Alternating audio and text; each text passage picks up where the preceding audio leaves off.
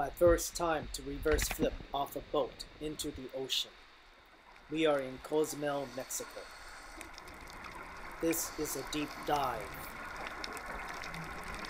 100 feet below the surface. You can see the wall. It goes straight down. Weights are needed to keep you from uncontrolled ascent.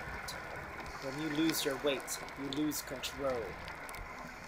When you lose control of your ascent, bubbles form inside your body, and you get the bends, aka decompression sickness, resulting in paralysis or death. I am wearing 10 pounds on my belt. My belt has a plastic buckle. You can see my belt becoming loose. The weight is dangling. I am surprised it is still hanging on. This wall has a lot of current. This deep dive has become also a drift dive. Suddenly, my weight belt falls off completely. I watch the weight disappear into the abyss, and I try to wave for help.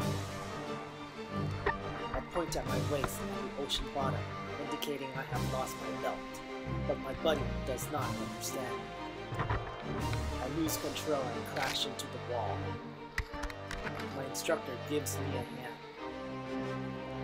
She deflates my BCD. We struggle to avoid ascending further.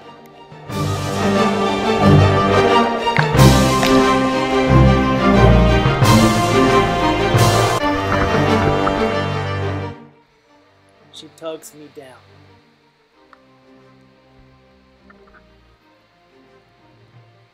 She tells me to breathe out.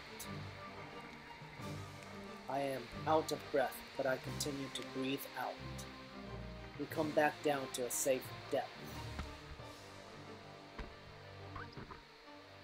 She puts weights into my BCD pockets.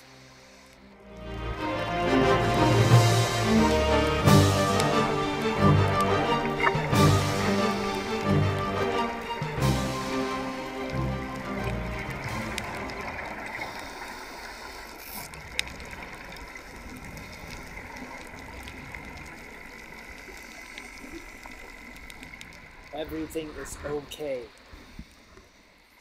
if you remain calm. Disaster averted.